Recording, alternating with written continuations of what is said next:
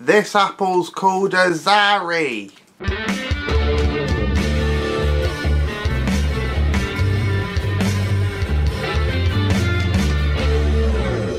Hello everyone, welcome to Food Review UK. My name's MJ and this is another Year of the Apple video where we're reviewing apple varieties.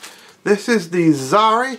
I got this from uh, Aldi and uh, as you can see they have called the pack itself British apples um, crisp and juicy and then it's only when you check down on the information here that you see it's a Zari variety. Hashtag honestly I have tried one of these. I think the price was uh, something like £2 I think some, something in that region and you got I believe you got this as a four pack.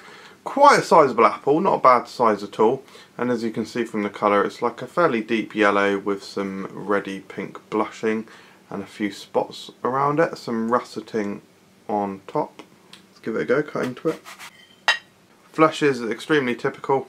Whitey, light green, there's a bruise on this one. Let's give it a go.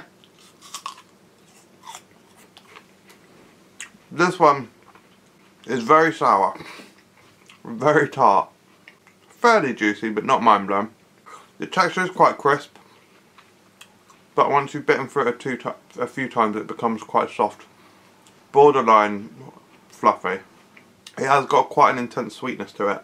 And that of course works well with the tartness because this is, I think this is the most sour apple I've had on the year of the apple so far.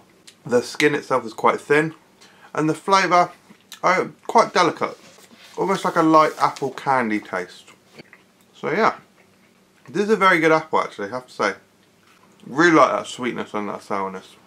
Needs a bit more depth of flavour, maybe a bit more fragrance to beat the jazzes of the world. But I do really like this. I get a very, very, very low 4 stars. Hmm. Rather nice indeed.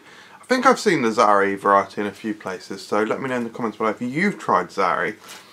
Are you excited by apples? Is the year of the apple exciting you? Leave your hate comments below and we'll see you next time. Cheers.